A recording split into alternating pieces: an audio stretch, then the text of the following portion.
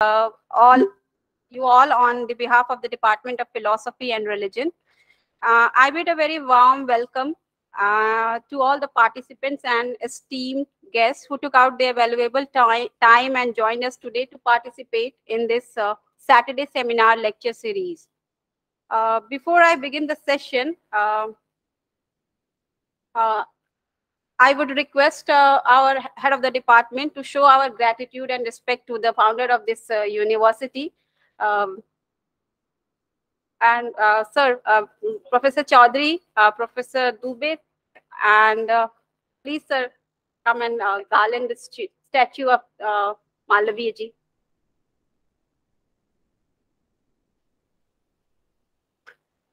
Uh um, -huh.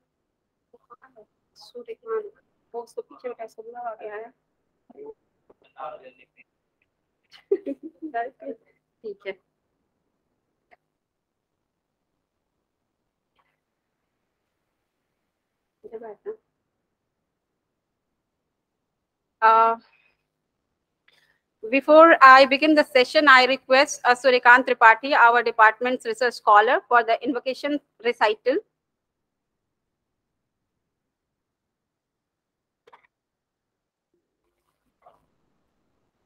सर्वेभ्यो नमः नमः, नमो नमः।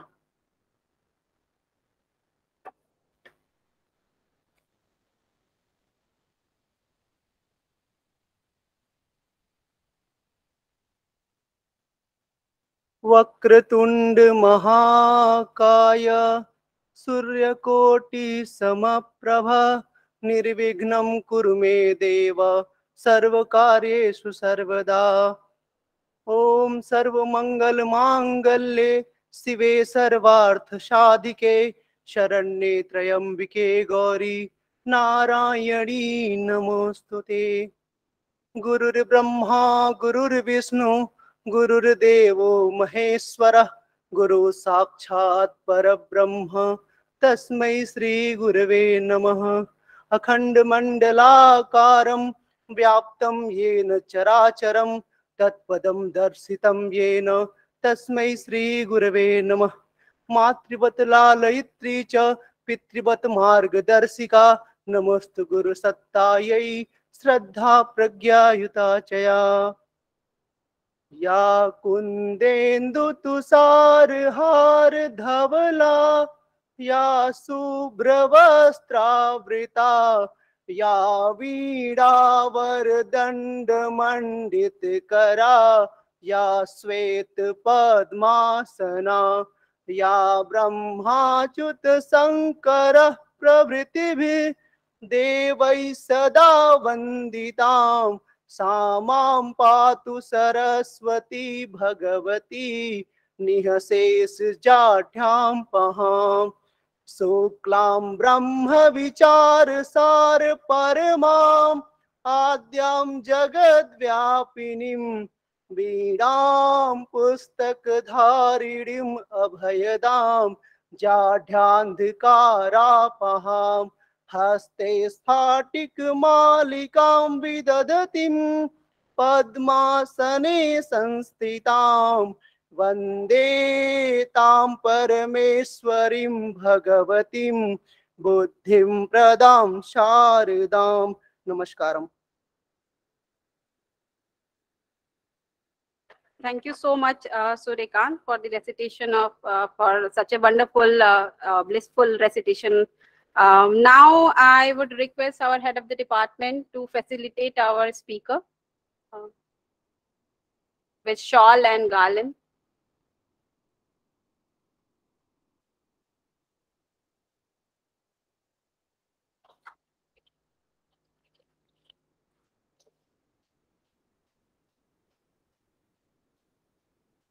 Thank you so much, sir. Now I request our head of the department to deliver his welcome address.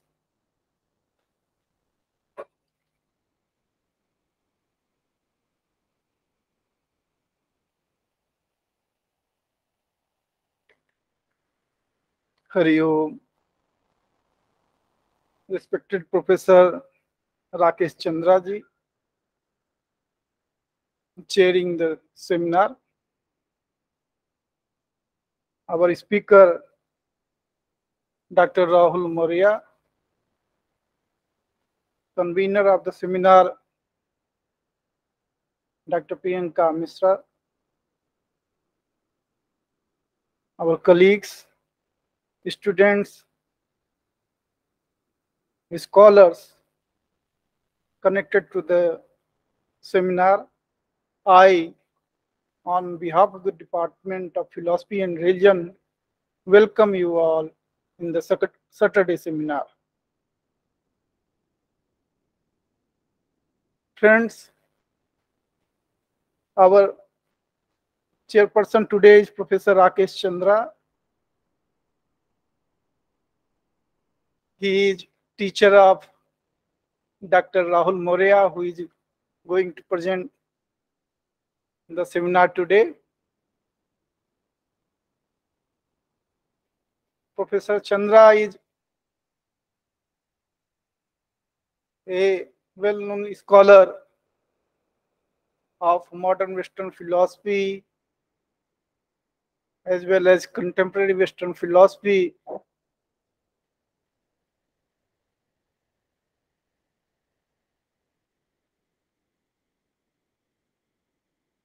He has been especially concerned with the philosophy of Noji and Rorty. All we know that Chandra is, Professor Rakesh Chandra is not only a man of philosophy, but he is fully engaged with philosophy.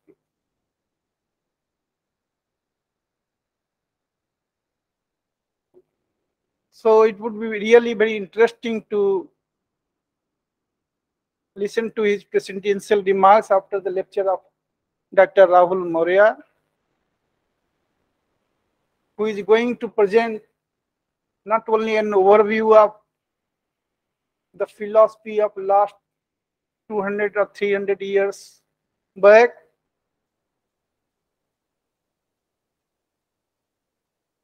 but he would like to see the philosophy in angle of Rortian eyes. It would be really very interesting to listen to Rahul. I hope all of you would enjoy the lecture of Rahul Maurya. I welcome both the speaker and chairperson in this Saturday seminar. I also welcome Professor D.A. Gangadhar ji, who is always with us. Professor Geeta Manaktala,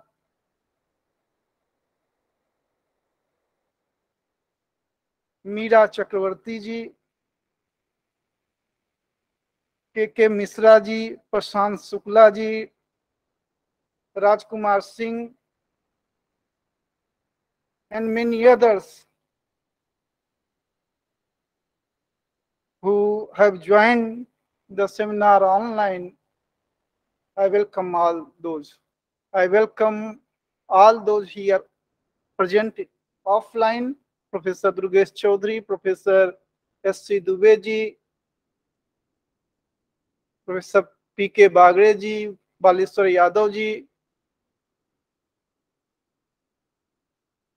and the different scholars who are present here. I welcome you all in the Saturday seminar. I hope you would really enjoy the lecture. Thank you.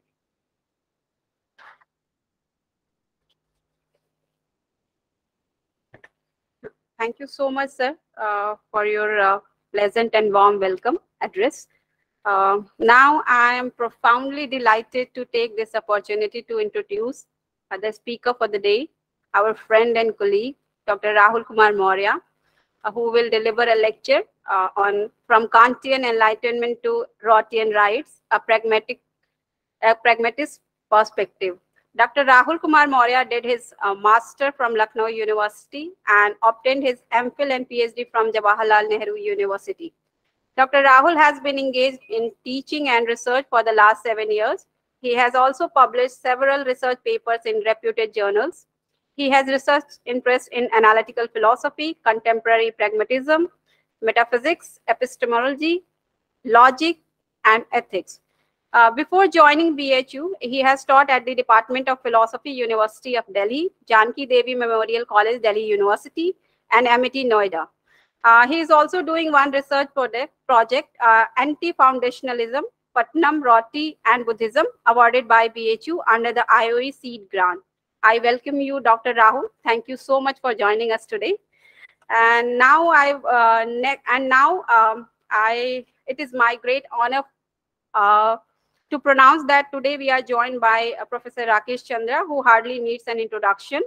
Uh, Professor Chandra is currently a Dean of Academics at Lucknow University. He is a member of the ICPR uh, and was Dean of Student Welfare and has been the former head of the department, um, Department of Philosophy and Director, Institute of Women's Studies, Lucknow University. He has been a consultant with UNICEF on primary education and child labor. He has been teaching for more than 25 years and has been the recipient of UGC and ICPR scholarship and is co-investigator of a UGC major research project.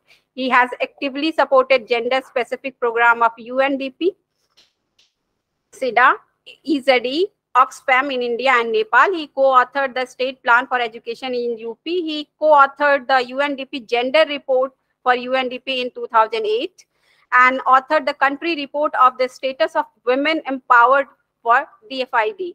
So he uh, he also prepared the Gender Development Index for the special reference to the quality of life under the Center of Excellence scheme for UP in 2009. And he has uh, worked with Dalit communities for more than 10 years in Barabanki, supported a girl education uh, initiative. And sir has also written uh, multiple uh, mm, uh, uh, research articles. You know, I think some are very, you know, you know, his recent publication in, includes like one book is very important. I think domestic violence against women in India. it was published by Madhva Books and then one book uh, necessity identity and con conceptual structures new royal book so uh, i think uh, without any we are honored to have you with us uh, uh, today uh, let's start the event without further delay i would now invite dr rahul maurya to the podium to deliver his lecture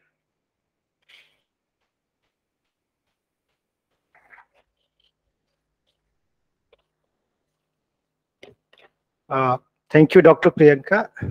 Uh, I'm really grateful to the department for giving me this opportunity to share my uh, research interests and philosophical thoughts.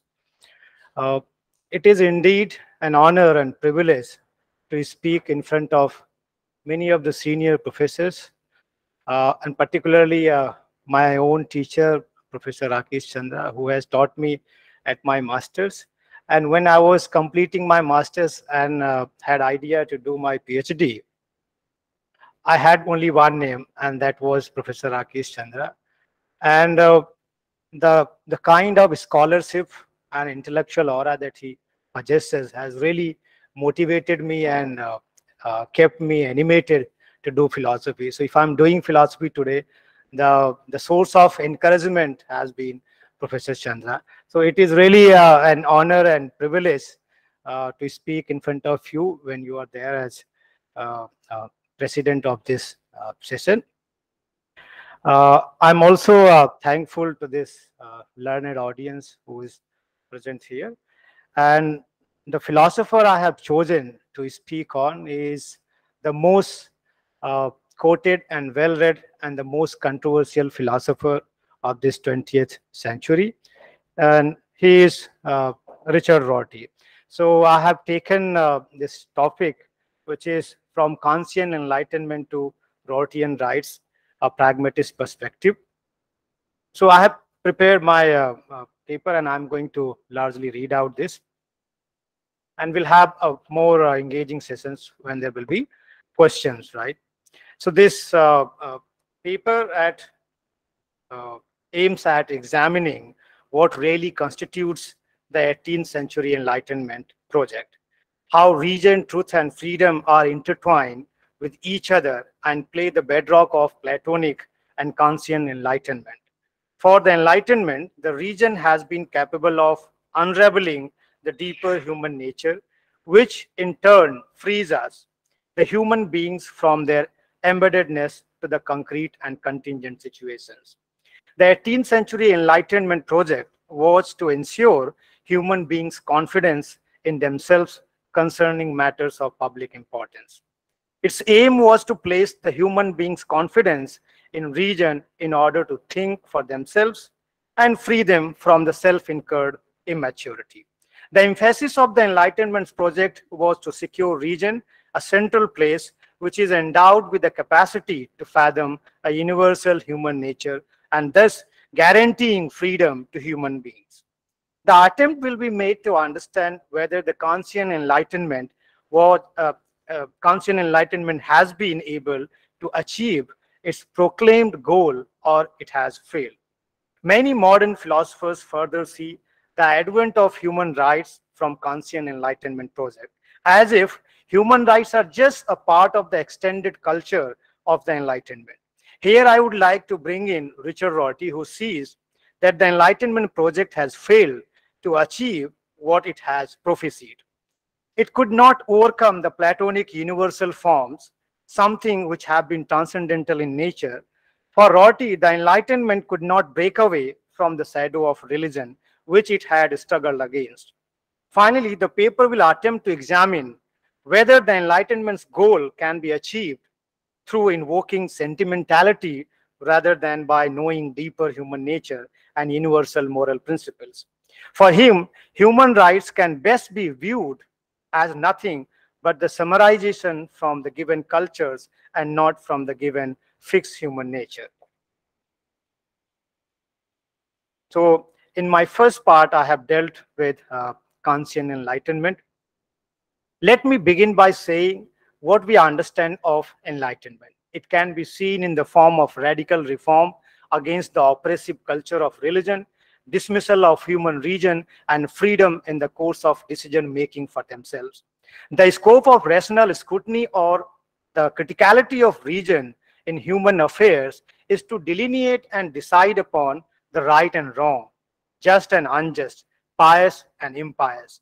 Putnam has drawn the similarity of Kantian enlightenment with Platonic enlightenment. Putnam traces the idea of transcendental reflection in Plato's dialogue between Euthyphro and Socrates regarding what is pious and what is impious. The discussion that ensues emphasizes whether something is good because it is God's will or God's will is good because it is in accordance with what is good. In Plato, the idea of good stands above all the seekers or reflective beings of good. The good had acquired the prestige of transcendental existence, and so the idea of reason. And Putnam argues, and I quote, if we compare the 17th and 18th century Enlightenment, the Enlightenment with a capital E, with the earlier Platonic Enlightenment, it is not hard to perceive both similarities and differences. On the side of the similarities, there is the same aspiration to reflective transcendence, the same willingness to criticize conventional beliefs and institutions, and to propose radical reforms. The aspiration of reflective transcendence and the force to critique everything which is old and rotten is conspicuously seen the main task of Kantian enlightenment as well. Another salient feature of the Enlightenment has been the growing of science with the claim of establishing objecting truths in the realm of physical world. The Copernican revolution has been the precursor of Kantian Enlightenment and guided it through. Human reason with freedom has become the central point of Kantian Enlightenment. Kant writes, and I quote, Enlightenment is human being's emergence from his self-incurred minority. Minority is the inability to use of one's own understanding without the direction from another. This minority is self-incurred when it, its cause lies not in lack of understanding, but in lack of resolution and courage. To use it without direction from another. Have courage to make use your own understanding is this motto of enlightenment. For this enlightenment, however, nothing is required but freedom. And indeed, the least harmful of anything that could even be called freedom, namely freedom to make public use of one's reason in all matters. And I end the quote here.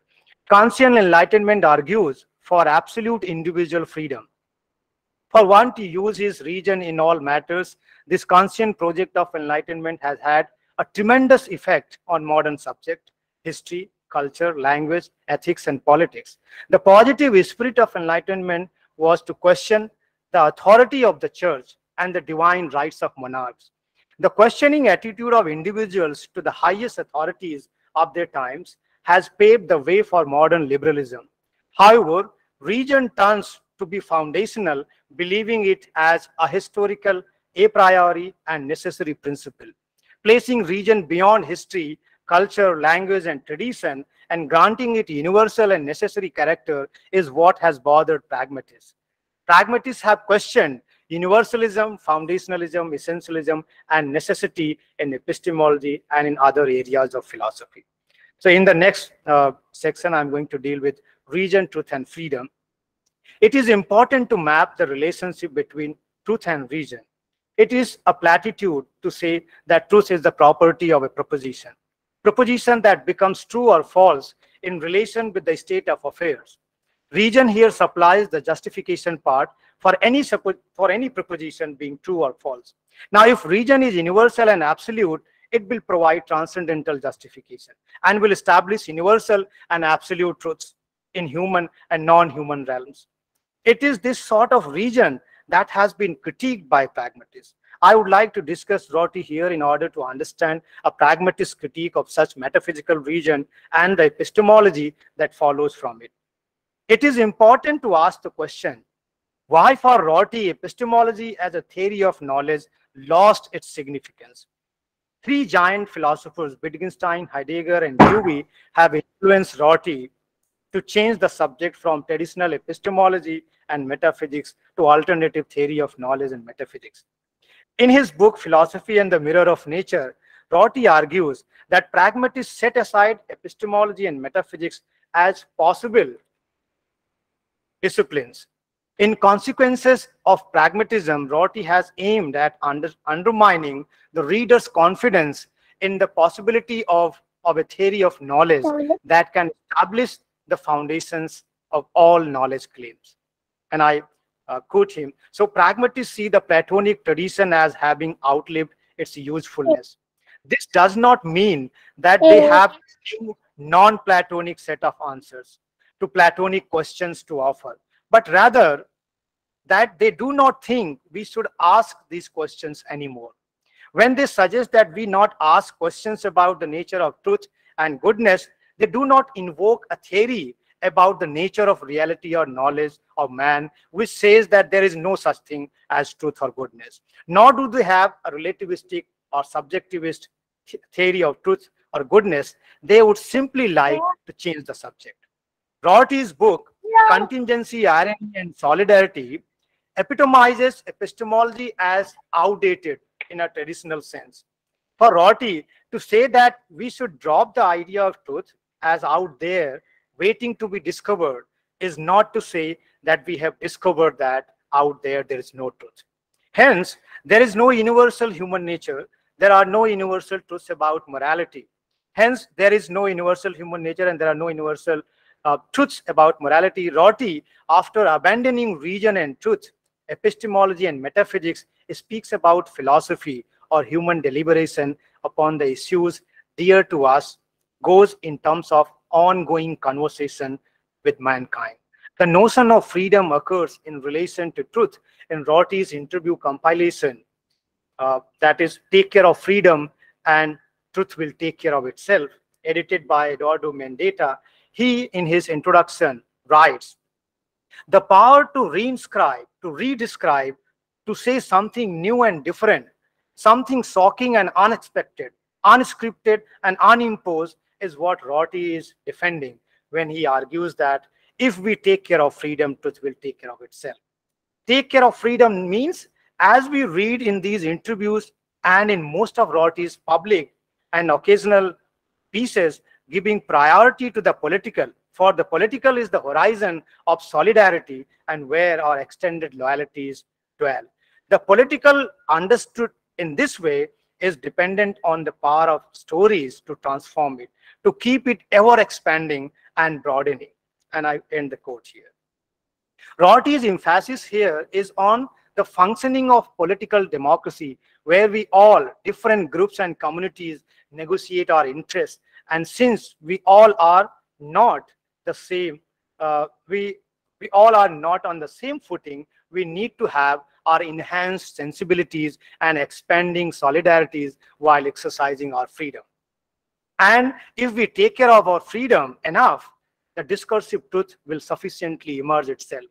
Though the truth here is not a transcendental or transcultural product or something that arises with a historical and a priori reason once and for all. Rather, it is an expedient in the way of cooperating better with the world, human and non-human. Our sensibilities, our solidarities can be expanded only through stories and narrations of pain and sufferings of others. Next, I'm going to deal with this topic, rationality and animality. The entire history of Western philosophy, beginning with Plato, Descartes, to Kant, they all maintain the metaphysical difference between rationality and animality. Rationality is something that is characteristic of human beings, and animality is something that uniquely belongs to the animals. With this rationality comes the possibility of knowledge, the knowledge that only human beings can possess about everything else. Plato envisaged an absolute and universal reason necessarily attached to humans that will enable us to discover the absolute idea of good. For Kant, the same universal reason has led to fathom the categorical moral imperatives. This strict schism between rationality and animality created by these philosophers has had enormous impact upon the history of ideas and human subject. The history of philosophy under this duality has long prioritized reason over feeling. They, they believed that with knowledge of universal moral truths, the community life can be transformed into a moral community. Plato to Kant, all these philosophers have neglected the role of feeling or sentimentality as being subjective and something which can perpetuate prejudices and biases over objectivity and truth. It is with Hume that feeling has got some prestige in the philosophical and moral discourse. He brought in feelings and gave it a central place in order to conceptualize the ethical discourse. In the contemporary time, it is Rorty who sees Hume as a precursor of pragmatist, moral thinker, and drew a lot from him to provide feeling a constitutive role in ethics. For Rorty, pragmatism in, is an attempt to break away from the image of human self as distinct from animals and align it with the Darwinian image of self as continuous with animals. Darwinian image of uh, Darwinian image of human self is not a distinct metaphysical entity, rather continuous with animals. The only difference human beings have from animal is that human beings manifest complex human behavior compared to animals. Pragmatists resist any form of essentialism as well as distinction of appearance and reality, in intrinsic and extrinsic characteristics of things as advocated by essentialists. With the collapse of the distinction of appearance and reality, Rorty says the skeptic question of do we have the knowledge of things as they are becomes irrelevant. So pragmatists replace the representational knowledge with whether our ways of describing the things help us to cope with reality better or help to help us to achieve our goals or fulfill our needs. Now I would like to discuss the distinction between morality and prudence. Since for pragmatists, there are no non-rational things, and thus the distinction between morality and prudence becomes problematic one. The concept of morality is understood as unconditional obligation, a categorical imperative, something which comes from our internal structure of human self. Whereas, whereas prudence is a calculation on variegated things, and interest to see good results. pragmatists say that this distinction needs to be reinterpreted and reconstructed. Rorty writes about what Dewey says, and I quote, Dewey suggested that the reconstruct that we reconstruct the distinction between prudence and morality in terms of the distinction between routine and non-routine social relationships. He saw prudence as a member of the same family of concepts as habit and custom. All three words describe familiar and relatively uncontroversial ways in which individuals and groups adjust to the stresses and strains of their non-human and human environments. It is obviously prudent both to keep an eye out for poisonous snakes in the grass and to trust strangers less than members of one's own family. Prudence, expediency, and efficiency are all terms which describe such routine and uncontroversial adjustment to the circumstance. Morality and law, on the other hand, begin with controversy when, when controversy arises. We invent both when we can no longer just do what comes naturally, when routine is no longer good enough, or when habit and custom no longer suffice. And quote ends here. The point emphasized by Rorty here is that the traditional distinction between morality and prudence is the same as the distinction between universal and particular, between reason and passion, between objectivity and subjectivity, and so on. So reason, morality, objectivity, and universality belong to the superior realm, and prudence, passion, particular facts, and subjectivity belong to the lower or inferior realm. Thus, this perceptual division has ruled over human and animal as two distinct entities. It is this division that has created the essentialism of human and animal existence. The Kantian moral categorical imperatives belong to the superior existence of understand uh, existence of humans and feelings and sentiment belong to the inferior existence of animals. Such understanding of morality is deeply mistaken and has led to a disaster in social and public life. By willful disregard and neglect of feelings have, problem, have problematized and problematized the understanding about how human beings cope with other human beings and emerging situations.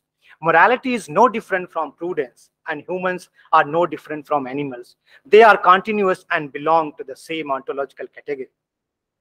Next, I'm going to uh, relate the entire discussion with the human rights. So human rights and sentimentality.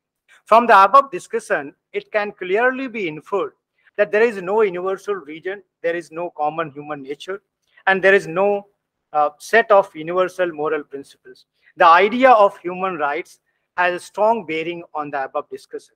The followers of the Universalist project strongly believe that human rights have a foundation in our common human nature from which they have sprung.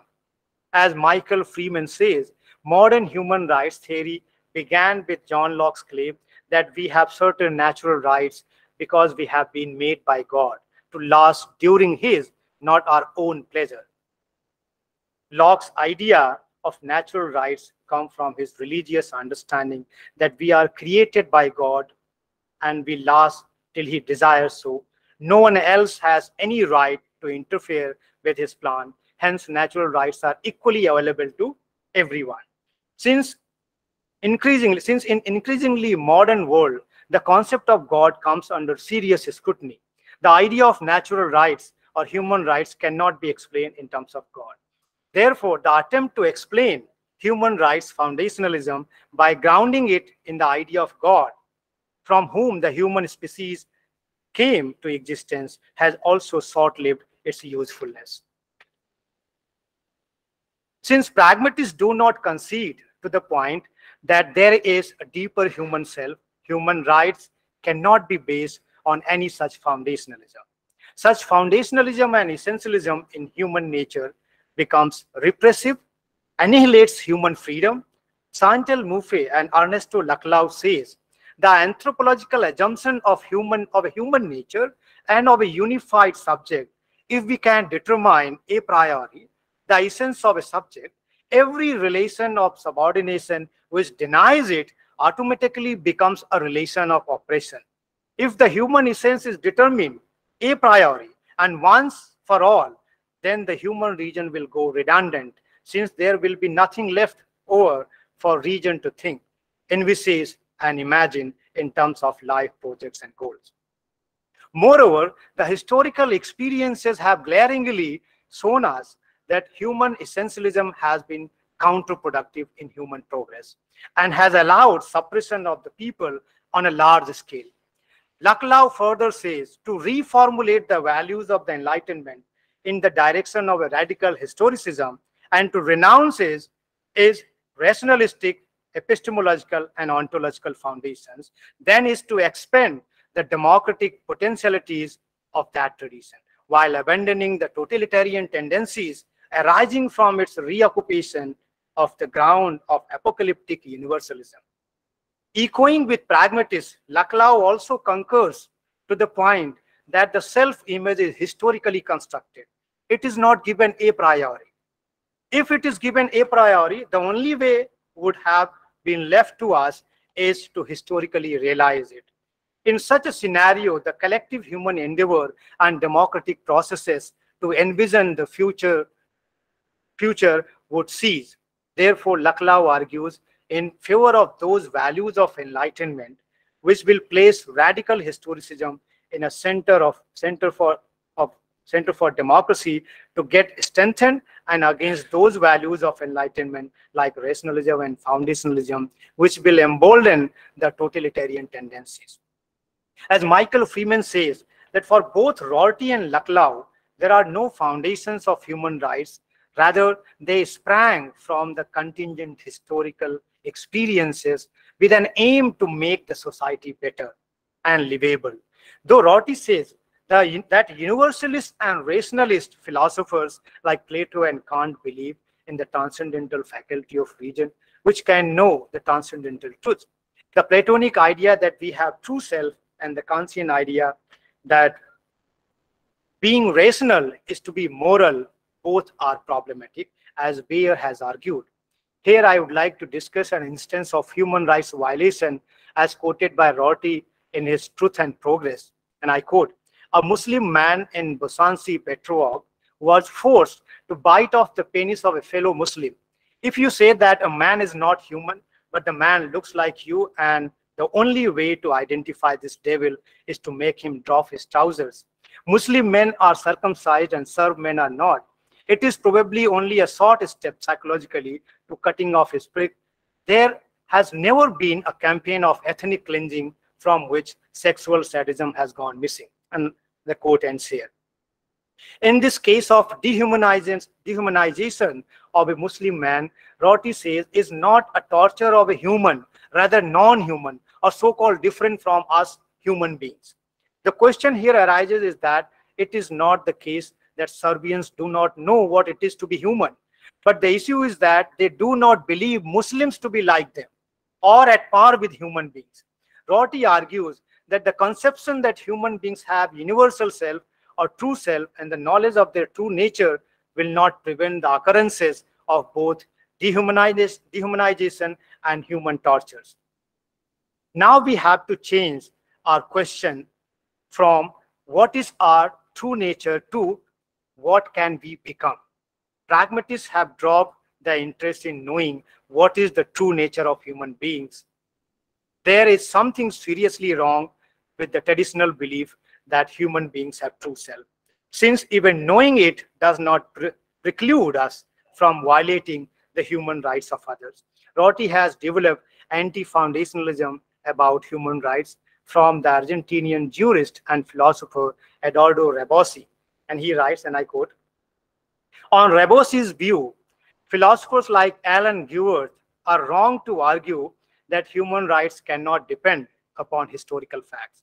My basic point, Rabossi says, is that the world has changed, that the human rights phenomenon renders human rights foundationalism outmoded and irrelevant.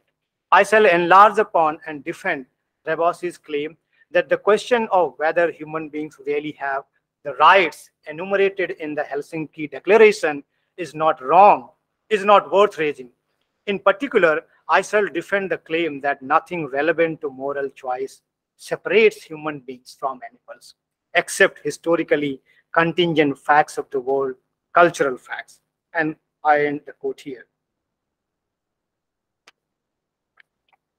So Rorty argues that we do not uh, that we do uh, do not need to assume any transcendental transcultural entity to ground the emergence of human rights. There is nothing transcendental which can explain the rise and validity of human rights except more cultural facts. Human rights can be best viewed as cultural products emanating from our historical experiences. There is nothing essential in human rights so as to why one should accept them. But their significance lies in their best capacity of fulfilling the demand of our time. Now, the fulfillment of the Kantian Enlightenment project, or as Rorty puts it, Enlightenment's cosmopolitan utopias, can be achieved not by recognizing universal morality among human beings, but by invoking the requirement of feeling or sentimentality. When pragmatists say there is no foundation of human rights, they are not rejecting their importance and pressing demand of the human rights culture, but their birth, but their birth lies in the historical contingencies.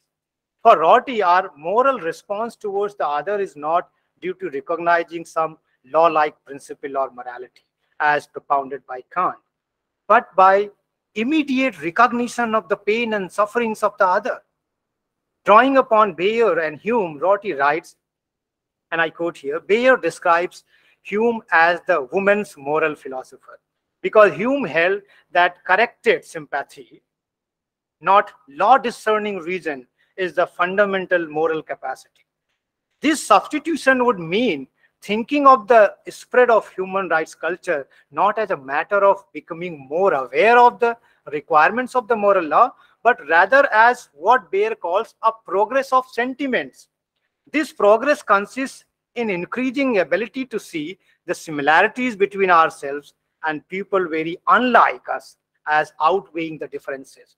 It is the result of what I have been calling sentimental education. And I end the quote here. Finally, I would like to conclude by arguing that Rorty's take on morality and human rights culture is rightly placed in the glaring failure of Platonic and Kantian metaphysics of universal self and morality.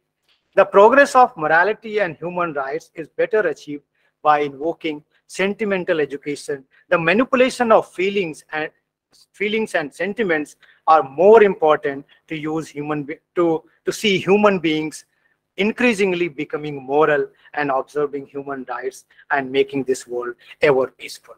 Thank you for your patient listening.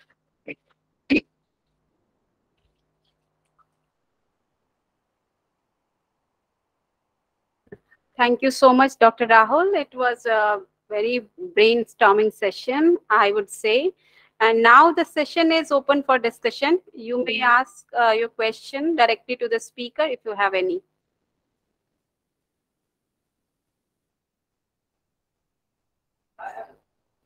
Yeah, please. So please, yeah, please come to.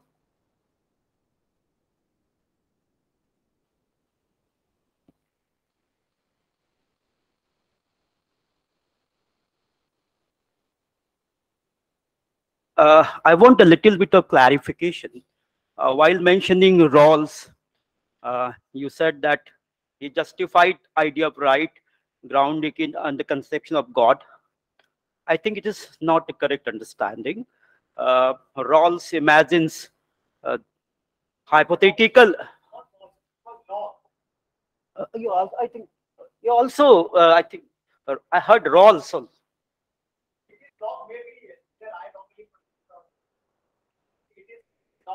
Okay, anyways, the conclusion of Rortyian enterprise is cultural relativism.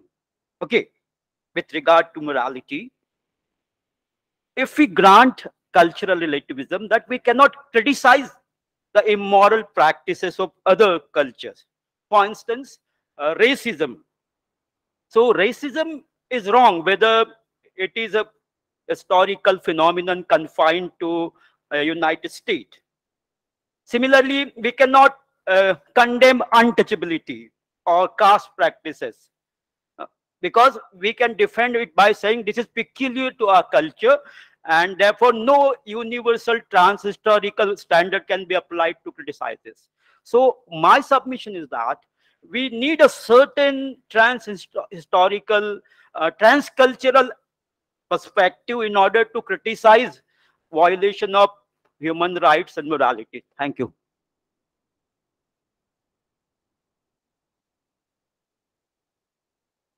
Thank you so much, sir, for your really uh, important question.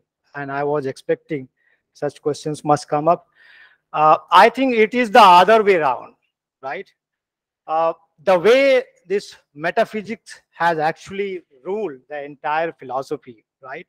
Where we believe it is uh, universalism or essentialism, right? Uh, since you have referred the caste practice, I think it has got reified and perpetuated only because we have been taught that things have been rationally thought they are permanent they are fixed. So you cannot change it right?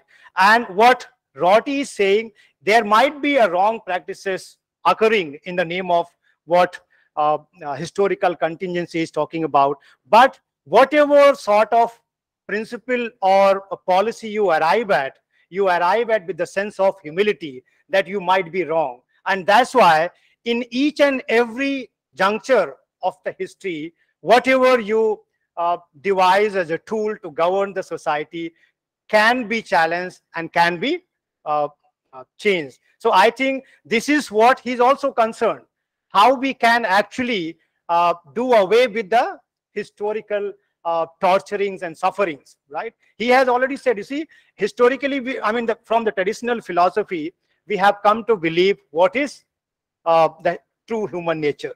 And he has given the example of Muslims and the Serbian people, right? So it is understood what really constitutes of being human. And yet, when it comes to other human beings, there are certain certain petty differences. Upon that, we go on excluding peoples which are which do not look like us. So I think it is uh, sort of uh, contingency the historical experiences through which we have arrived at certain junctures, junctures, right? And if they have been wrong, they can always be corrected. But in a, a sort of uh, absolute universal metaphysics, right? You, you are not allowed to change it because it has come heavily upon you as fixed. And that's why not only that, even the uh, people who have been historically suppressed and violated into their minds this universality have been in, imprinted and that's why they cannot muster a courage to resist against it so i think this very idea of contingency everything that we believe is uh, needed for us in our time this is what i would like to answer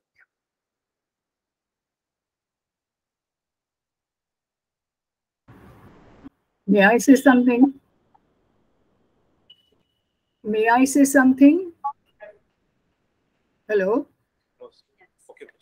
Uh, yeah, sure, ma'am. Okay. Uh, Rahul, it is. Uh, hello. Uh, yeah, yeah, ma'am. Now you may uh, speak. Oh. Is she audible? Volume Okay. down. Rahul, this is. Uh, uh, uh, thank you for your uh, for, for your presentation, but I would love to see uh, that the whole conceptualization of, of, of this universal humanism. Uh, uh, sorry, let me introduce myself. I, I'm a, a cultural studies uh, professor in Jain University, and I was the uh, uh, state member of Women's Commission, Karnataka. Uh, I'm Meera Chakravarti.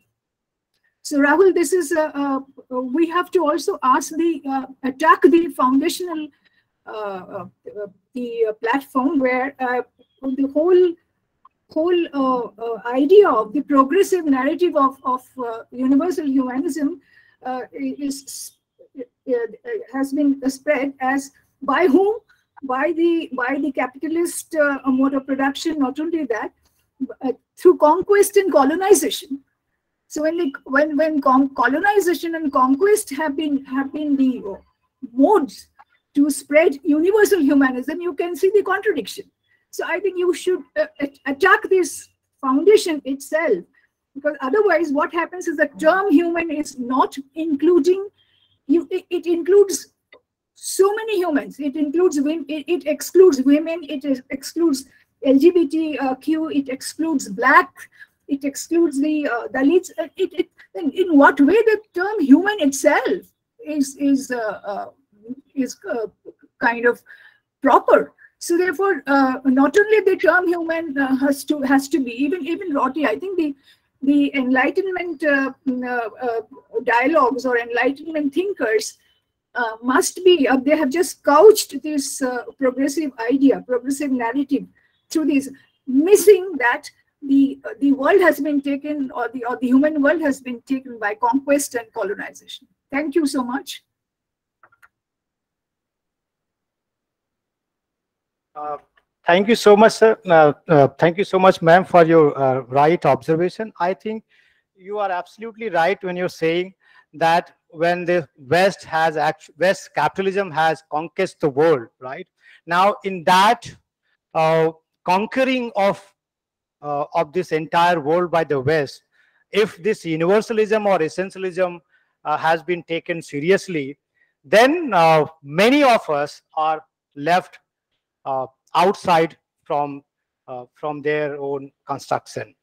So uh, and not only this the entire division of what it is to be human right has been taken on many aspects and uh, not only uh, uh, women even men have been also excluded now the women have been considered as if they they lifelong lifelong remain childlike because they do not possess that rationality Right? similarly the blacks do not possess the rationality and that's why they are not uh, considered to be at par with human beings so if we really stick to this universalist project then it is actually uh, further enslaving rather than actually liberating. So the contingency has invoked the sense of humility that we are a limited human beings we have a limited capacity and we cannot go into future to see how the world is going to be ultimately look like. So uh, it is always progress with this sense of contingency and humility and the historical experiences are the guiding forces through which we can summarize certain principles but it is not the certain principles are there into existence just because they have emanated from certain truths right? So this is what I would like to say. May I ask something? Hello, may I ask something? Uh, yes, sir. Please ask your question. Okay, Thank you, Priyanka. Uh, I'm Professor R.K. Jha. I should have been there. I apologize for that. Due to some personal reasons, I could not be there in the offline mode. But I am here on the online mode and I have listened to the lecture carefully. And first of all, I would like to congratulate Rahul for his wonderful paper and lecture. And uh, there are a few things which are still going on in my mind, and I would like to have some clarification from Rahul regarding that. Uh, you see, when we are talking of uh, human rights, the question definitely arises, as was pointed out by the person, by ma'am in the last question. What do we mean by humans? Because uh, on the one hand, in your lecture, you have yourself uh, taken the position that uh, according to the Darwinian principle, there is no categorical difference between animals and humans, except that you know the humans have the capacity for a more complex behavior mentally and physically. But uh, that is only a matter of uh, quantitative difference, not qualitative difference, I would say.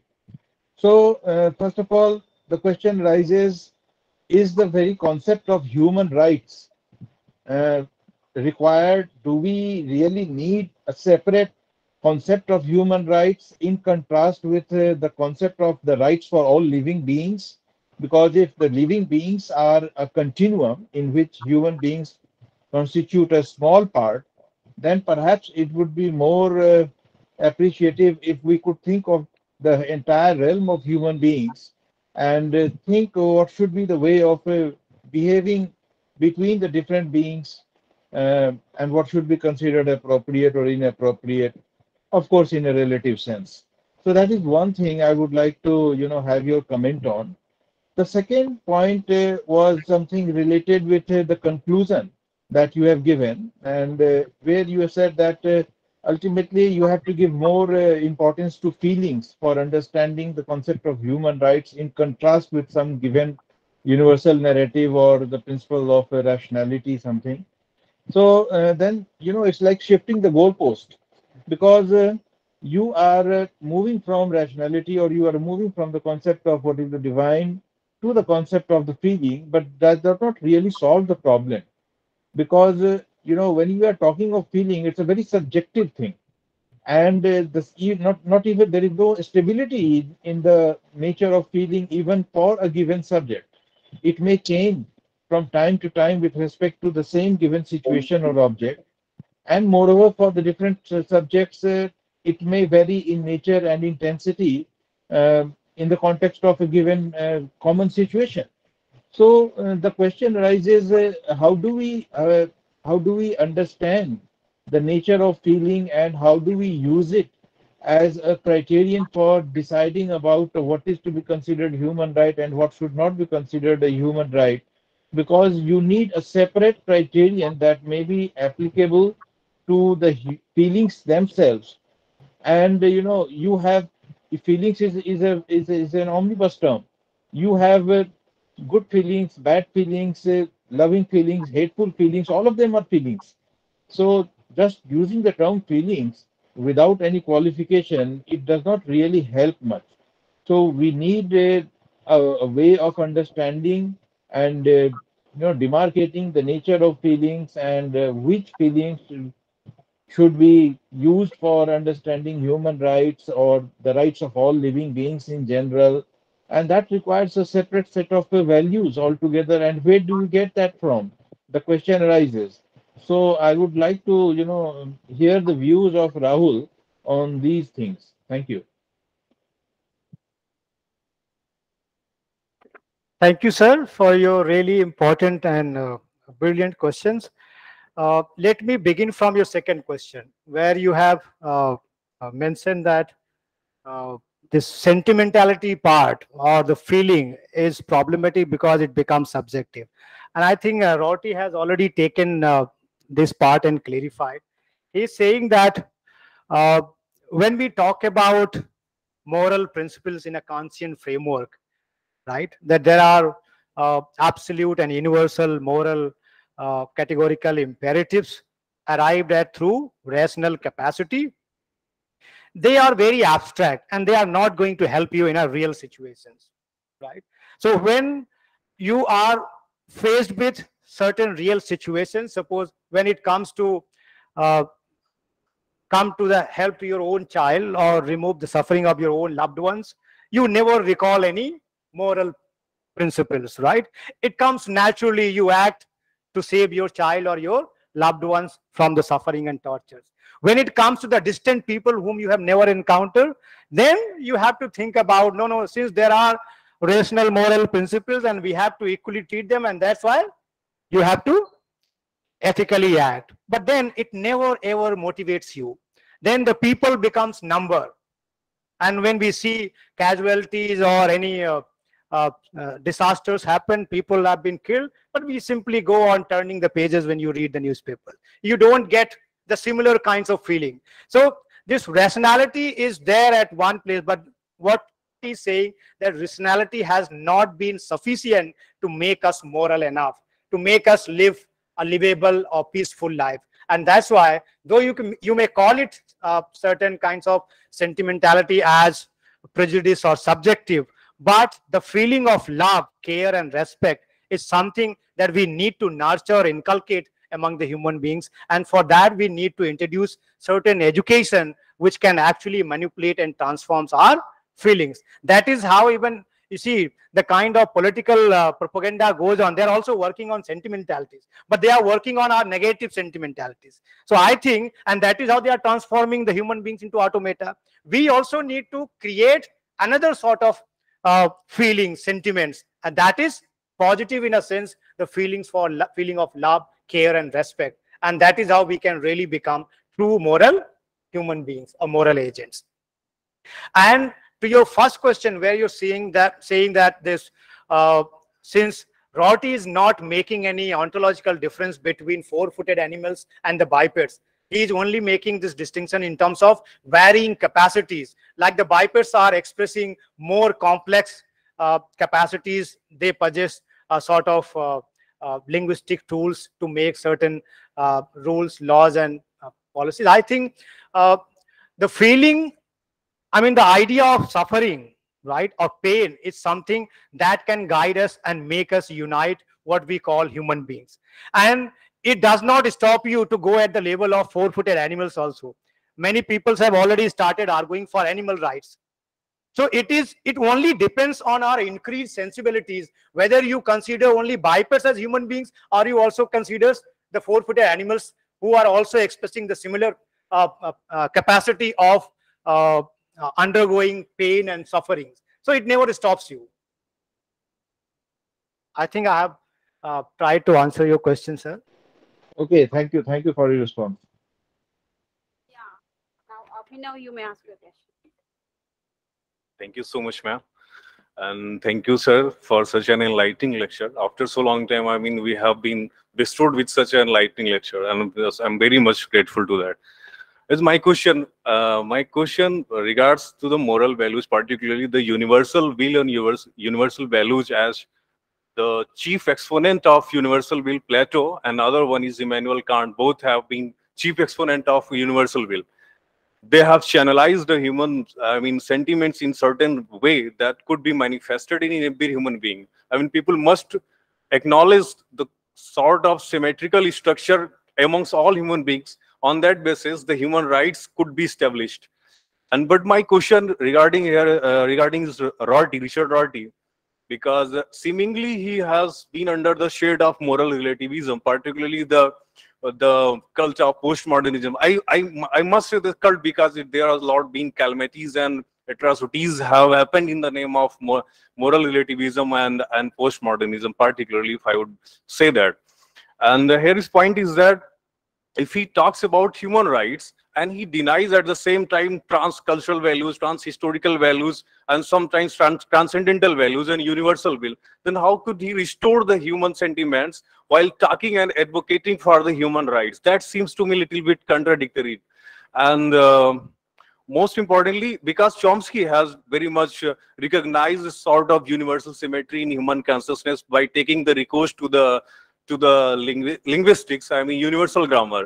Then on that basis, Chomsky denied the moral relativism. Particularly, there was a debate between Michel Foucault and Chomsky had happened uh, by a Portuguese TV. So I must say that could you please, uh, I mean, give your insight on the Richard Rorty's remark, particularly in response to the Chomsky's moral relativism.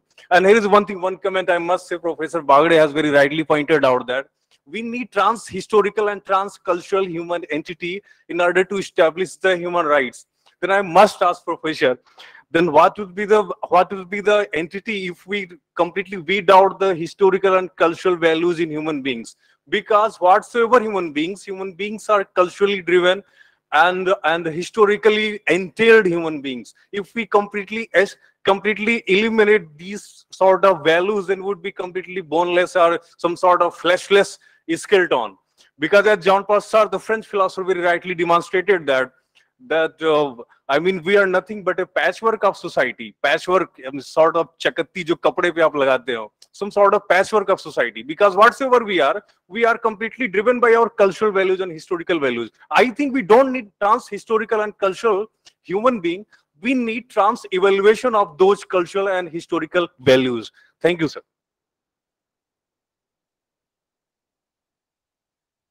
Thank you for your question. I think uh, this question of moral relativism is uh, has been haunting Richard Rorty, and he's been uh, trying to repeatedly clarify uh, the sort of uh, contingency he is talking about does not lead to the sort of uh, uh, epistemic or moral relativism. Why he is saying this? He's saying that the idea of the the immediate recognition of pain and sufferings of others is actually leading or motivating us to gradually reform and develop your vocabularies, right? So sort of practices or vocabularies that you have arrive at certain moment of time, right? If they are not addressing, right, the larger or the entire uh, so-called uh, a group of people, right, or the entire community, then you need to change your uh, your uh, vocabulary, right, or your uh, moral intuitions, right? So he has given this idea of ethnocentrism, right? Where he's saying that we need to gradually become one ethnic community. We need to broaden the horizons of ourselves where nobody is left out. Everybody is taken part of that. And what can guide us to make everyone uh, becoming the member of yourself, right? Where you are overlooking the petty differences. But the idea of immediate recognition of pain and suffering can help us to consider each and every one uh, a part of your own self. And that is how a sort of vocabulary that we are gradually changing and uh, going towards as if the final vocabularies this uh, the suffering and pain of the others can be one guiding force right? So uh, this is uh, to you one question and i think you uh, this is what i have i have answered uh, to the question of moral relativism. So he is not actually ending up in a sort of moral relativism where we can claim that anything goes, right? So it is not that Rorty is so foolish and saying that anything goes, right? Then it will become self-refuting, right? Self-contradictory. He is merely saying that the any sort of vocabularies or any sort of self that you possess at a moment of time it is nothing but emanating from your historical experiences. And as long as it is serving your purpose you keep it. As long as it does not serve your purposes you change it you reform it and you develop completely new vocabularies. So that's why he's saying the conversation of mankind will go on. There is no any transcultural transhistorical truth that will determine how you should actually govern yourself or how uh, happiness to be achieved, right? How to live a peaceful life. There is no such transcultural truth. There's no such deeper human nature that you can really, really dive and fathom, right? Rather, it is the ongoing conversation, right? And whenever you are developing something, right, it is a sort of conversation, right? If the dominant people, the powerful people have imposed some, something, right, the downtrodden people can resort to sort of protest through which the conversation can be resorted can be established and then you develop certain new vocabulary so this process of development of reform is continuously going on right yeah. like to take up or should I read it out? Oh, you can take it. read it, I'll take some more. Yeah, sure. Uh, Rajan, are you there? Uh, Uh,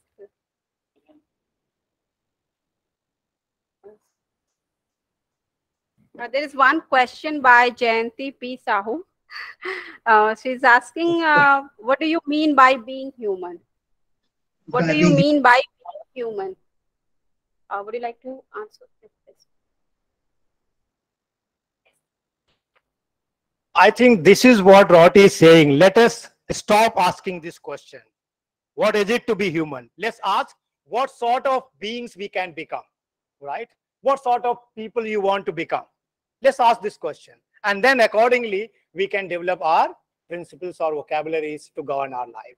Right? We can become cruel, we can become good people. Rather than really looking for what sort of human beings we are born with, or is there any grand or divine purpose for which we are born, we can ask, we can change this simple question and ask what sort of beings we can become, right?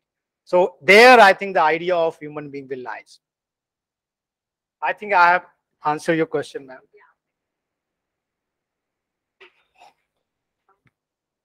Uh, Shivendra Vikram Singh. Are you there? If you're there, you may ask your question directly. Yes. Yeah. Y yes, ma'am. Uh, am I audible? Yeah, you are audible. Okay, uh, namaste uh, to sir and the whole panel and the platform itself. It was a fantastic lecture. Uh, just please allow me a minute to state my concern and my question. I feel this is important and I'm really scared today. Uh, there are around 40 students in this lecture, some online, some offline, and many would have further online commitments after this. And mind you, this is the biggest philosophy department in our country. This is one fact. Second, uh, a recent survey in Vardha showed that online has given us very powerful tools, PowerPoint, etc. But still, most teachers use reading, you know, to deliver uh, classrooms. Now, when education is a tag on CV, where we learn to say that I don't like to do it rather than accept that I don't know how to do it, where is education the bedrock of all ethics in this? One. And two, what we as academics can do to restore the joy of learning. That not everything's a, you know a tag on the cv and uh, you know with in, in such a crazy scenario where we you know for future learners we, where we have challenges like you know short attention span and our mental faculties like attention. They are the biggest products for sale for facebook for you know fb feed. And these are the things. Where, where do you think education is in all this? Where do you think uh, ethics come into all this? Thank you sir.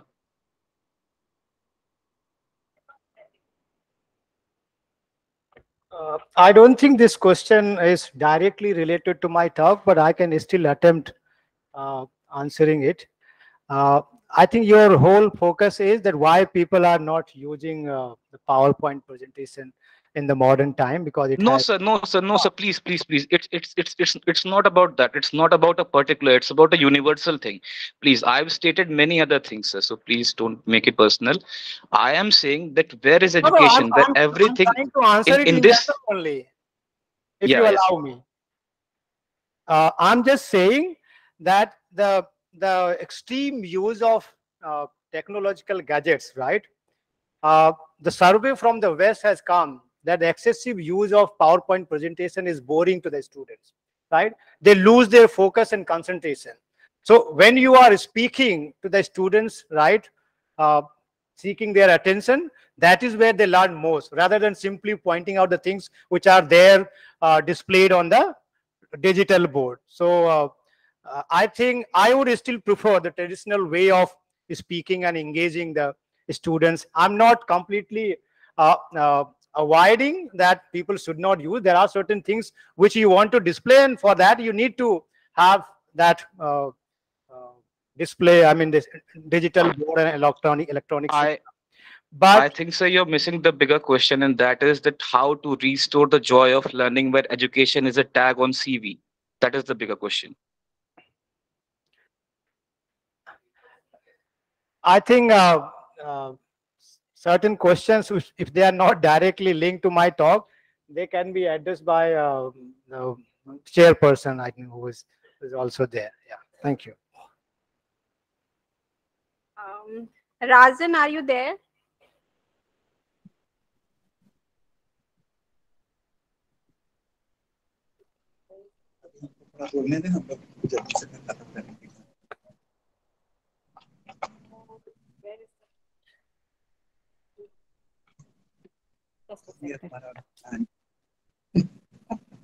See, there is one question before I take this question. Um, uh, Jayanti P. Sahu, ma'am, she has asked that what alternative model you have.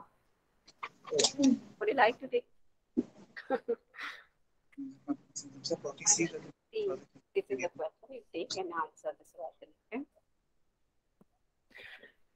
Ma'am, I think I have not proposed any alternative uh, solution, right? I'm just theoretically deliberating how the society should actually move, how we should actually reflect back on what is given to us and what sort of a society we want to make. What would be actually the procedural uh, way of determining certain things. So there, I think, uh, uh, in a pragmatist spirit, in a Rortyian sense, I have criticized a sort of uh, fundamental, I mean, foundationalism and universalism and essentialism. This is what uh, I would like to uh, say. Thank you. Okay, I think. Uh, Can, can I, can I, uh, hello Rahul, can I, uh, Yes, can I ask? Hello, yeah, ma'am, go ahead. uh, can I ask, uh, um, answer Mr. Shivendra Vikram Singh? Yes, you you can you can, ma'am. Yeah. Okay, what, what one fundamental uh, uh, position is that yes, uh, students do have very short uh, uh, uh, concentration. but it's also contradictory that they are they have total concentration if there is a rap going on or or or, or or some fun programs are going on so this con concentration is always with you you you have taken the priority to uh, you know to scatter it to uh, something which you think as fun. Now your second question is serious. I, I do understand. Uh, what we can also do is uh, is that suppose we give the con con content of the uh, lecture distribute it uh, among all the students ask them to read it and come back and have a participatory discussion because if it is one way talk it might bore you. But if it is a participatory discussion then it can be uh, you can you can also gauge. It doesn't mean that sitting on the other side of the uh, table makes me omniscient. No but it will also be uh, many times it, it also helps from the, the, the students feedback is quite important. So i think you can have a participatory discussion instead of having this. Thank you rahul and thank you ma'am organizer thank you professor rakesh ji. Okay ma'am. Thank you for answering his questions. Now uh, i think rajan has asked uh, some question. Let me uh, try to respond. I think uh, you asking uh, putting this question the same question which even Rorty has been dealing with that this sort of relativism uh, is going to put us into a self-refuting situation and i think Rorty has very clearly answered that he is not putting forth an idea of relativism, right? It is not a sort of subjectivism that he's uh, talking about where anything and everything goes on, right? So there are certain sort of constraints in terms of uh, the purpose that you decide for the society. And then you can uh, develop and devise a certain vocabulary or principle which can actually help. Rather, this, as I have also discussed and focused in my discussion, that this universalism and essentialism has been repressive for masses. So uh, that we need to take seriously. Thank you.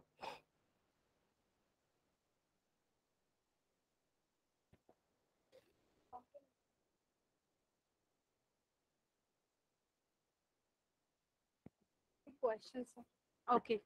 Uh, now I think let's have uh, the pleasure of listening to the presidential remark of the Honorable Chairperson.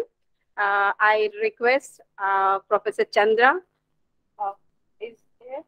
Sir, thank you very much. Okay, yeah, thank you, sir.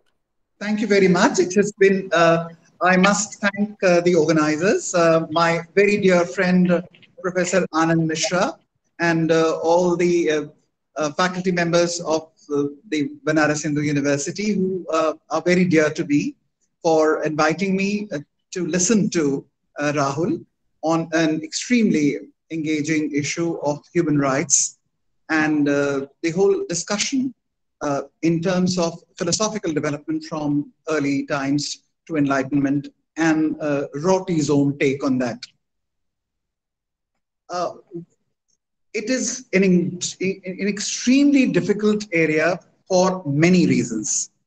And one of the reasons why I wish to draw the attention of all the members of the philosophical community here is that we need to distinguish the distinctions of our inquiry.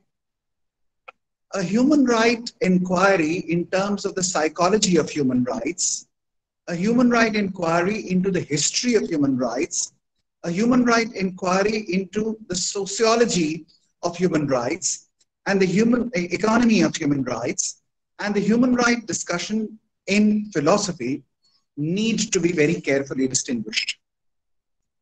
And I think uh, as we do a conceptual inquiry into the nature of human rights, the repeated question will come on the kind of question that Jayanti is asking, the kind of question that everybody is asking. Is it, okay, what does it mean to be human? What does it mean to have rights?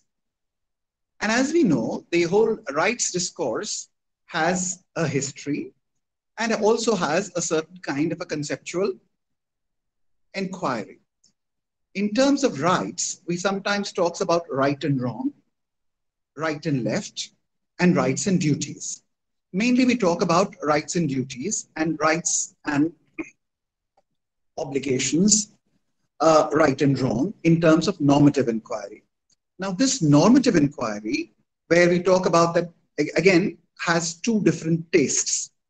Being hmm. right is something that we, it's an adverbial use of the language, that something is right.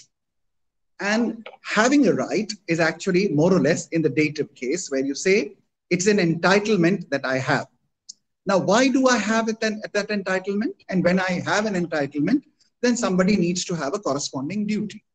So if I have a right as a child, as a Dalit, as a woman, as a man, as an Indian, as a citizen, or as a holder of an insurance policy, then somebody, an individual, an institution, or a framework needs to be obliged to ensure, protect, and promote that right. We know the discussion of rights has a long history.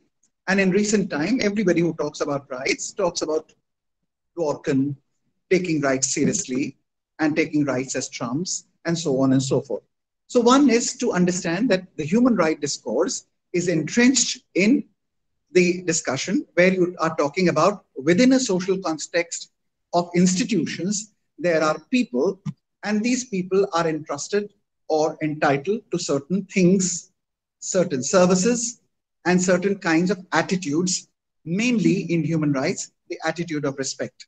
So food, clothing, shelter, and being respected for being human. Not because of your power, prestige, and wealth, but just being human entitles you to a certain kind of respect.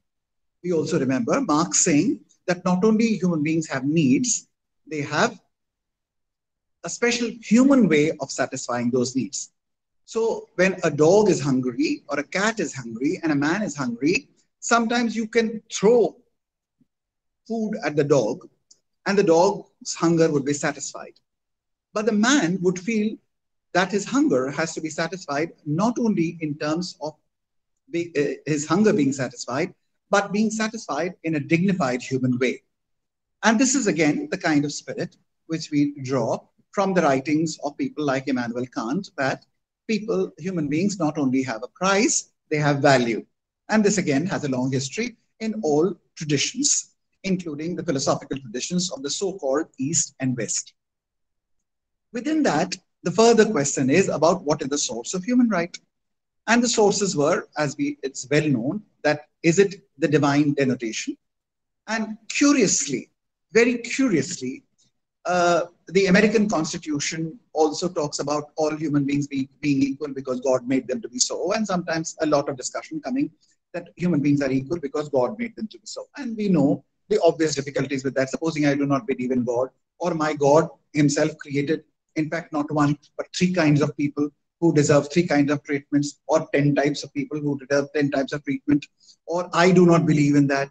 Now, so the, therefore, basing the human rights on uh, divinity is not something which has been accepted ever. Similarly, uh, the idea that it comes from a social contract, again, is an idea which has actually a huge amount of difficulties with all social contract theory that who went into a contract, when did this contract happen? So we know that the contractarians are also not giving you a historical account, but in fact giving you a kind of an analytical device to understand that actually these have a foundation in what? Now, uh, uh, Rahul is also mentioning, and what Rorty is mentioning, is it's based upon a certain kind of a consensus of people, as it were. So people got together, as it were, and in order to protect themselves from each other, because we are brutish, selfish, and cruel, we went into a contract and said that no, let's not rob each other and let's not kill each other while the other is asleep. Now, this kind of a theory also has its huge limitations. The third kind of thing which has come is in terms of the sources of human rights has been what has been generally called crudely the constructivist theory that a human being is actually not a description but a program we are human beings is not a description of what we are but what we aspire to be it is like more or less what we did with the indian constitution when we said we are a sovereign socialist democratic republic we were not describing ourselves, but giving ourselves an agenda. This is what we want to become. So when we say that we are human beings, then we are saying that we want to become human beings and then treat human beings humanly and then they will become humans. So treat somebody with dignity and that person will become dignified by virtue of being treated so. It's not that it comes from some other source of an essential nature, which is given in nature factually or given by God, as it were. Now, this is also a theory which has, I think, Jack Donnelly and so many people have been talking about it for the past 30, 40 years, and a huge amount of discussion has gone into this. Now, philosophical discussion uh, of human rights has to be entrenched within the larger discourse of ethics. And the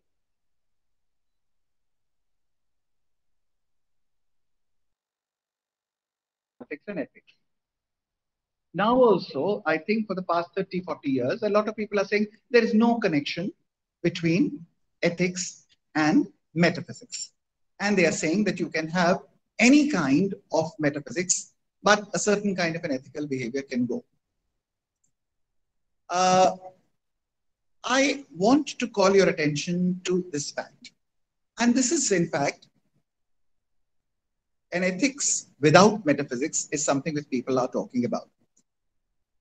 I have a humble submission that what we can gather is only that there's a contingent relationship between metaphysics and certain ethical theories.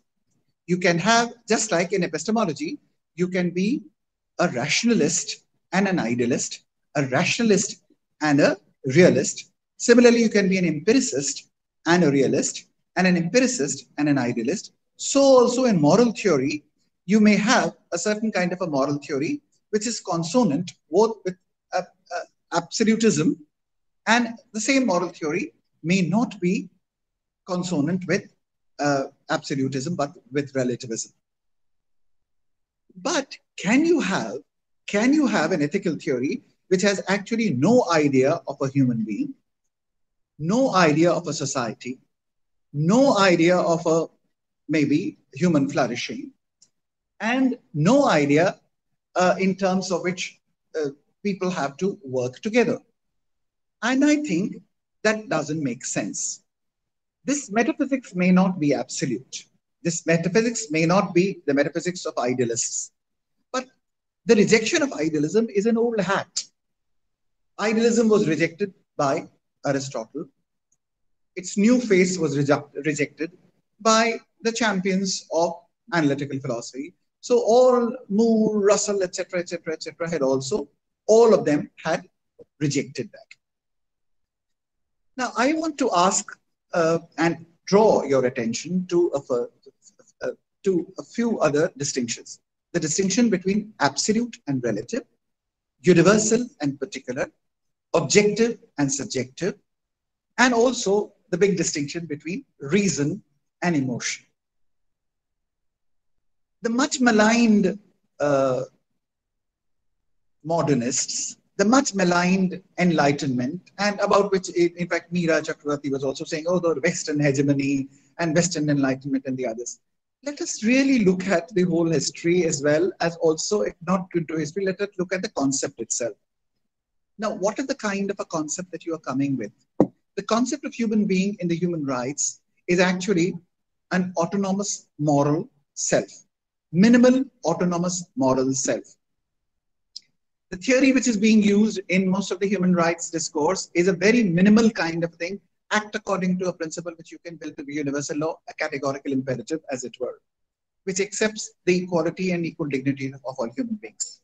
If you go further back, you go back to Aristotle, who talks about political competence. All human beings have a political competence.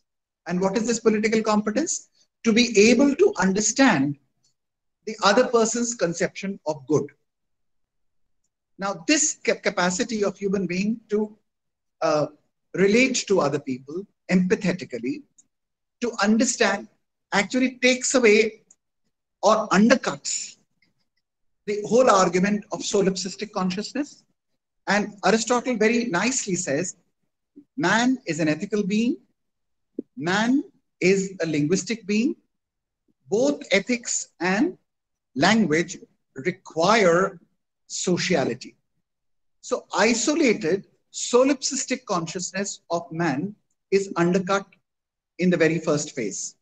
So there can be a person who's thinking only about himself or a person who's using language only for himself is undercut even way back, much before Uncle Wittgenstein started thinking in Aristotle himself. Now, this kind of an understanding that human beings are essentially social, human beings are essentially intersubjective, human consciousness is essentially intersubjective, is at the root of the idea of human being, which is coming in the time of enlightenment as a minimal kind of a clause. Now, the human right discourse in most of the world, in philosophy and outside the world, is taking theories of Amartya Sen and theories of Martha Nussbaum and theories of Sabina Alkire very seriously. These are theories which draw upon the idea of human beings as actually, human being is actually a bundle of capabilities. And we are looking at all human development in terms of as whether a society is good or bad, how much space does it give for the development of human capabilities? A good society is the one which gives you maximal space for the development of human capabilities. And what are these human capabilities?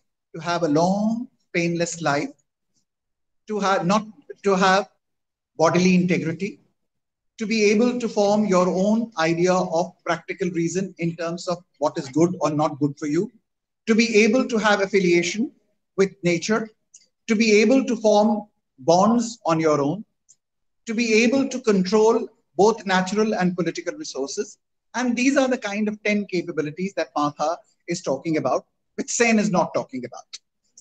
I know that there are these very uh, popular things, Tina Cantor, and we all know huge uh, uh, number of people who are saying that no, no, no, no, no, no, this is a cultural relativist idea the idea of human uh, autonomy is also a Western idea.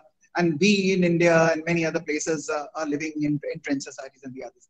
Please look at it more carefully. And when you look at each capability as is given in the capability theory and each right that it is given in the Human Rights Charter, tell me which of the rights is a right which is actually a Western hegemonic right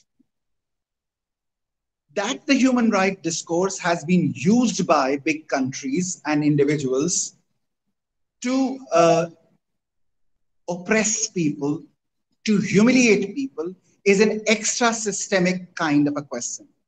And philosophers may be usefully engaged in that, but not essentially engaged in that. The very nature and the concept of the human rights, which bases itself on the idea of human dignity, equality of human beings, non-hierarchicality of all human rights, inalienability of human rights, even in the case of a criminal who, uh, we were talking about Kasab's right to a biryani till the last day that he was eating, are rights which are entrenched within this framework. And therefore, I think the sociological, historical, empirical hypocrisy of individuals and cultures of using the human right thing to oppress nations and people is a separate question altogether from the philosophical question about understanding the nature of human rights. And that is where I think Richard Rorty also needs to uh, examine himself a little more seriously. Is he, in his reading of Plato, being right? I have been looking at when he said that no, no, uh, the earlier search for the mirroring image must be replaced by conversationality. Conversationality is actually a procedure. What shall be the conversation? What, well, what will the conversation will be about? Is, will it be about my Fabindia jacket and where was it manufactured and the women who made it for 20 rupees finally get uh, sold for 2000 rupees and the profit goes to certain other things is a different story. Now, is this story going to decide morality? And when will that story convert into a story of morality? Will be decided not by the process of conversation, but by the content of the conversation? What constitutes morality? The constitutive elements of democracy and the procedural effect, uh, elements of democracy have to be carefully distinguished. the constitutive elements of democracy are equal respect for all the member participants. The procedural effects would be that dialogue and discussion needs to be there, that information has to be shared, that information has to be properly processed, and there have to be rational procedures so that they are corrected. Now, all these questions are all important questions in which philosophers can engage. But the famous phrase of Richard Rorty, take care of that truth will take care of itself, take care of democracy, freedom, and truth will take care of itself, is actually a bad philosophy. Freedom, why should we take care of freedom, if I may ask? It depends, it is because I believe that human beings are essentially free, that human, uh, the nature of human being consists in his freedom. Now, this essentiality is itself accepted, foundational, and universal. If you do not accept that, freedom is of no value. Why is freedom valuable? If you ask, they say, for instance, in uh, Plato, the question is, knowledge, an unexamined life is not worth living. Why? There is a close relationship between truth, function of a human being, function of a society, and the kind of vision that we have for future. Rorty is repeatedly calling our attention to, no, no, historically it has taken care of. Historically, we came to know that man descended from the apes. But this is not a truth created by history. This is a truth which is actually the truth, as it were, in an objective, objective way. So, historicism which Rorty is talking about, he wants to distinguish his historicism from historical determinism. And he's a historicist that he says that actually date and times matter. And he is against historical determinism, that actually historical forces completely determine the cases. And that I think Rahul uh, needs to tell everybody more clearly in his papers. That this is not just a declaration that I am not a relativist he's, he's trying to very clearly distinguish himself from the cultural relativism of Marxian theory. Because the Marxian theory is actually explaining away everything as a cultural byproduct. Rorty is saying, I am not a historical determinist. I am actually saying that history positions us, yet there is a possibility of creation. Now, this kind of a position which Rorty is taking is very important and needs to be seen very carefully. I am still wanting all of us to see that rejection of absolutism does not necessarily automatically lead to rejection of universalism. Universalism still remains an extremely important part of all our morality. Similarly, objectivity and subjectivity have to be understood in many ways. We may reject objectivity in the sense of being entrenched and decided factually by nature out there. But are we going to reject objectivity and accept subjectivism in the, in, in the sense that I like it and therefore it is right for me? Rorty and nobody is going to accept this kind of a subjectivism and will have to admit of a certain kind of an objectivity over there. So the meanings of the term universal, objective, absolute are very, very carefully to be uh, brought forward. A good understanding of Rorty has to be uh, done in this way because, you know, uh, when Rahul was responding to the fact that, you know, is he a cultural relativist? And he said, oh, he's, he said that he doesn't, isn't, isn't a cultural relativist. The fact is, you have to show how he is not a cultural relativist. The other very important question, which I think we need to go again back to the masters.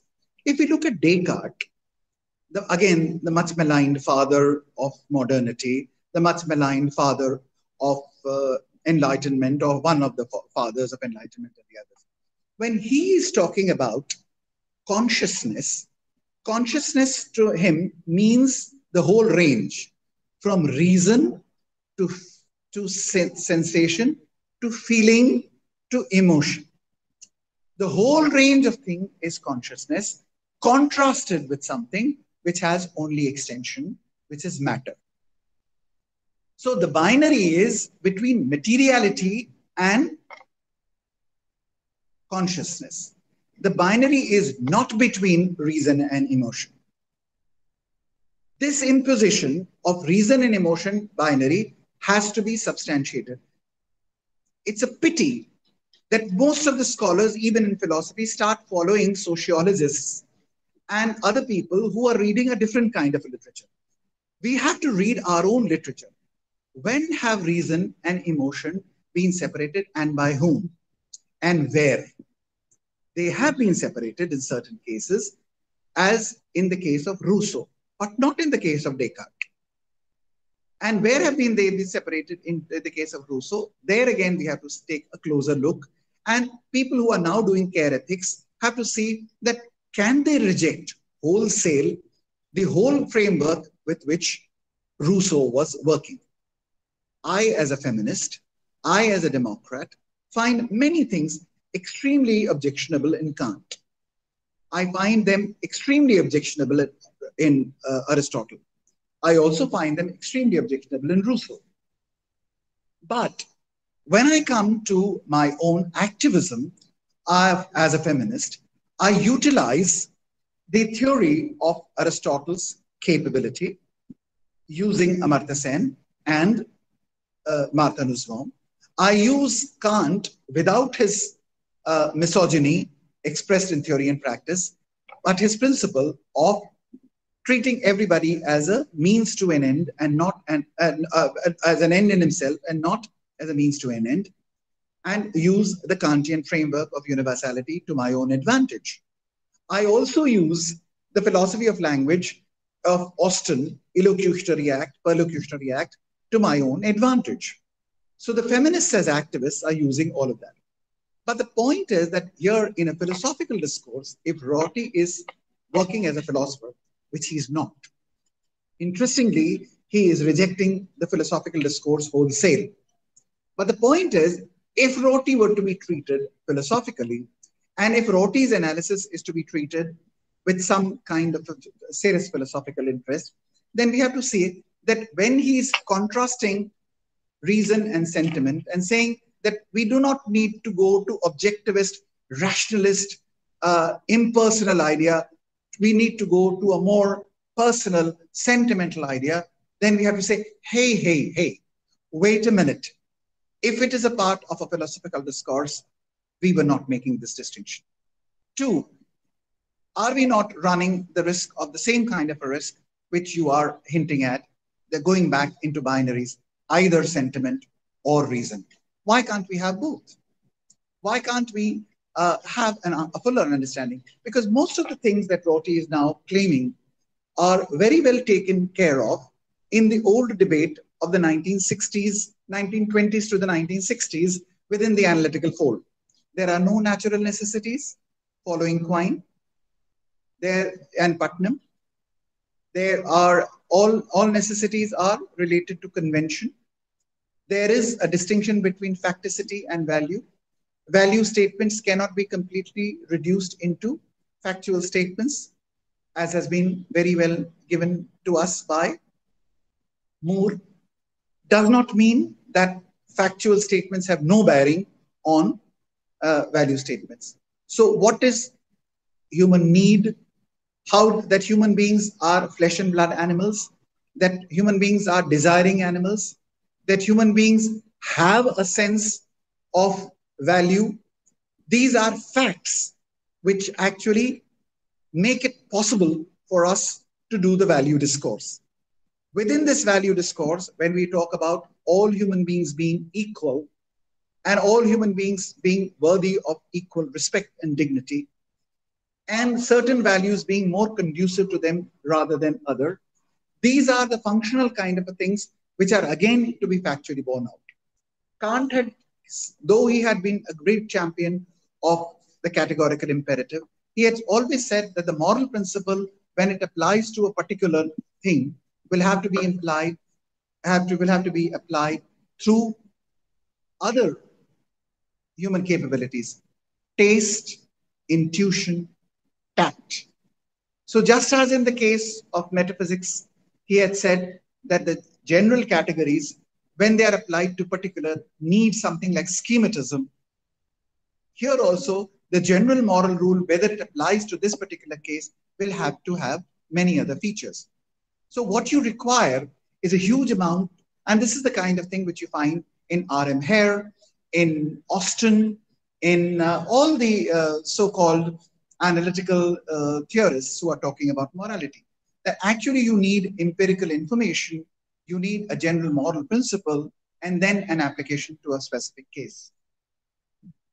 Uh, I am extremely delighted that uh, uh, um, Rahul takes Rorty seriously. But I invite him to think uh, once again on the issue that when we are took it, uh, that is this idea that human rights are actually a self-fulfilling framework. Human rights are constructivist ideas. It's not a unique idea only to, uh, to Rorty. The whole pragmatist tradition, the whole tradition in the past 20, 30 years, this is the framework in which we are working. The further question is, but can we just take it as historical?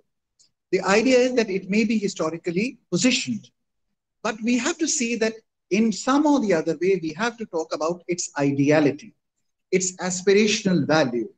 We are and committed to see that these rights are governed over. That the UN has been hypocritical, that the Western uh, West has been sometimes hegemonic. Again, I think this is an oversimplification. Not all West has is represented by the Western transnational capitalistic uh, governments. The uh, now to uh, the West to me might mean Chomsky. The West to you might mean Donald Trump. The way America to Rorty means Walt Whitman and John Dewey. America to somebody else might mean only the transnational corporation. So this kind of a generalization that the West is doing this East is doing this is also something which is really uh, problematic. The hegemonic idea of human rights is actually something which is generally said by people who have neither read philosophical discussions nor bothered to read the Human Rights Charter.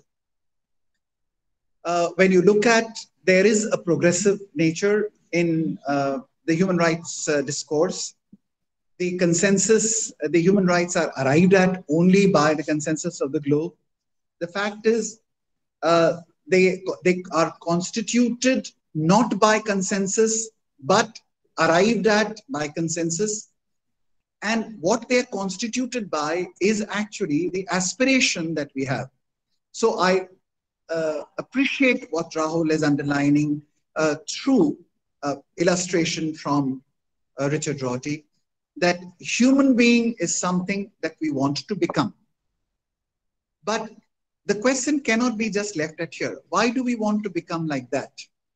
Some people would, would say that we want to become like that because it leads to better society. Now, or, now, again, what does a better society mean is based upon certain normative principles. So the whole discourse, discourse is now within the framework of what we call philosophical anthropology. And therefore, we need to see that how this discourse relates to the traditional discourse and very quick kind of uh, uh, discussions which dub the whole thing as a product of enlightenment, dub it as rationalistic, dub it as abstract, forget that the abstraction had been brought in for certain purposes. What was the earlier theory? The earlier theory was there are three kinds of people. The kings are of certain kind, the men of gold are a certain kind, the men of brass are of certain kind, the Triguna theory and all of that. Contesting that, we were trying to say that no, we do not want to hold to those, these theories. We want to have, let us take a minimal idea of human being where all human beings are regarded as equal in terms of their need for food, clothing, shelter, and their deserving of respect. Now, this desert, this desert of respect as human being So sometimes you want to have a very thin theory of the self as against a thick theory of self, which takes about human uh, being. कि भाई सब बच्चों में क्या एक ही से गुण होते हैं सब बच्चे क्या एक से होते हैं सब लोगों में क्या एक सी ताकत होती है The obvious answer is descriptively no. तो सभी ह्यूमन बीइंग को इक्वल क्यों ट्रीट किया जाए only because we have a normative definition. Now, that normative definition has to be based upon a very minimalistic idea. And that is what we have been seeing. If you would look at most of the political discussion right now, whether it is in Ambedkar or whether it is uh, in other theories, in Rawls, it is a thin theory of the self.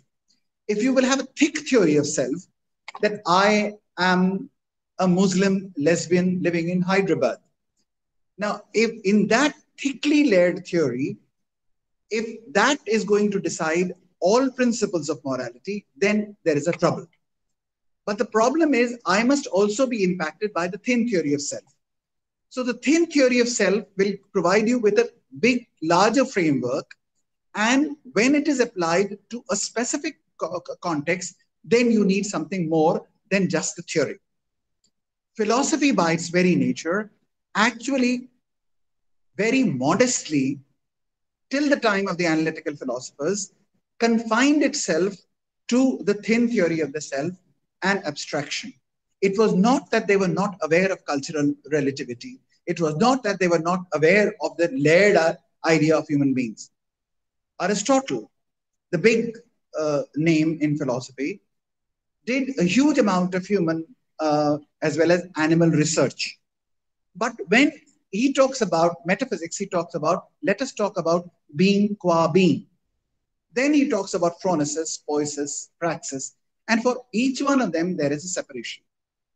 I am inviting the very thin community, the very sparse community of philosophy students and teachers to please take on this responsibility of taking on the philosophical task further there are very great sociologists, there are very great activists, there are very great feminists, there are very great uh, economists, and they have brought in much to the discourse of human rights. Let us, as philosophers, bring the philosophical acumen that we have from our philosophical history to the discourse. And I'm extremely grateful that today an attempt has been made by Rahul to bring something to the plate. And I, although I do think that some of the exasperation expressed by Richard Rorty is not from philosophers, but from practitioners. From practitioners, and practitioners do not listen to philosophers, that's another story. But since the philosophers are not heard by the practitioners, therefore philosophers should give up doing philosophy is something which I do not believe. And I think that the hope and respect, the two uh, twin ideas which inspire the entire uh, philosophy of Richard Rorty, should continue to inspire us. Uh, I'm extremely unhappy that I'm actually in, in a virtual mode. When we sit together, look at each other in the eye, we always get something more out of it. And I hope that we'll have more opportunities to discuss that. Uh, I thank the Department of uh, Philosophy, Banaras Hindu University, uh, my very dear friend, Professor Anand Mishra, all other members of the faculty, and my very, very dear young colleague, Rahul, for giving me an opportunity to listen to this enlightening talk and also share some of my concerns on the issue. Thank you.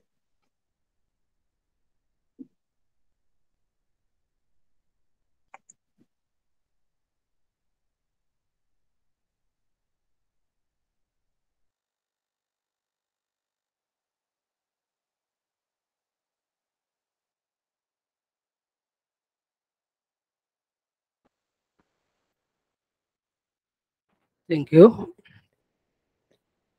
At the very outset, I convey my best regard to our versatile genius chairperson, Professor Rakesh Chandra, who is the center of this seminar. Because, and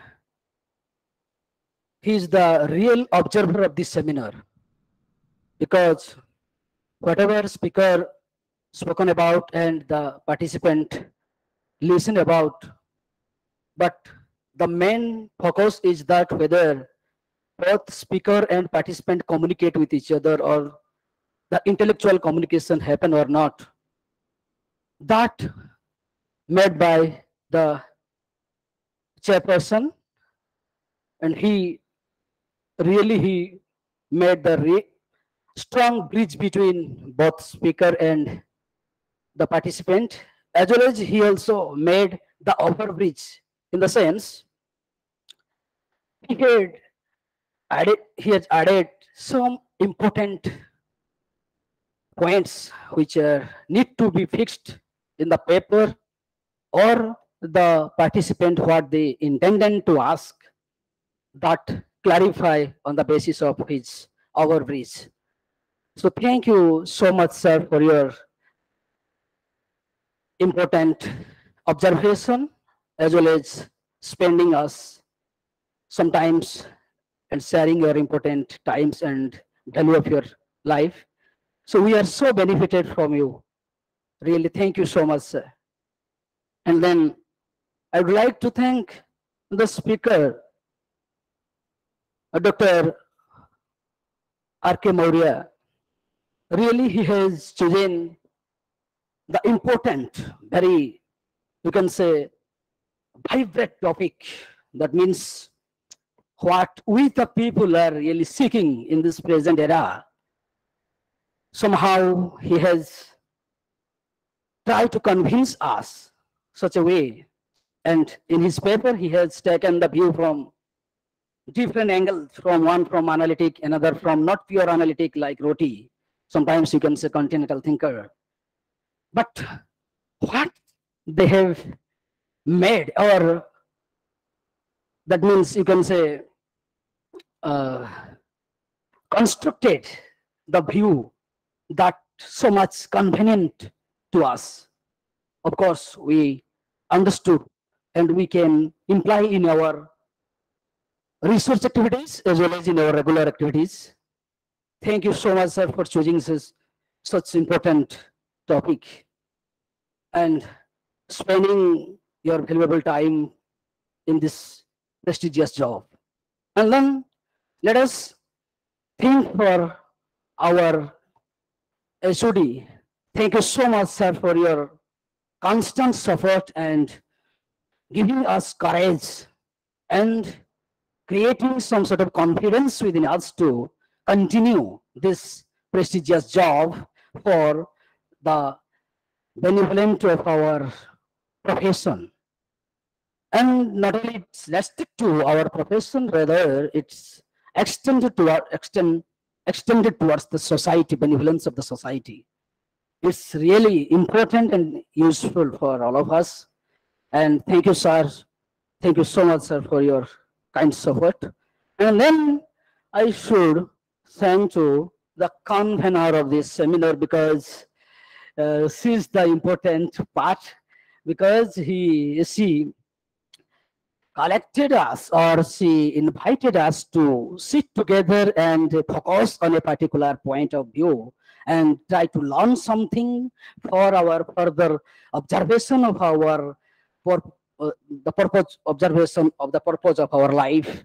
And he she successfully done her job.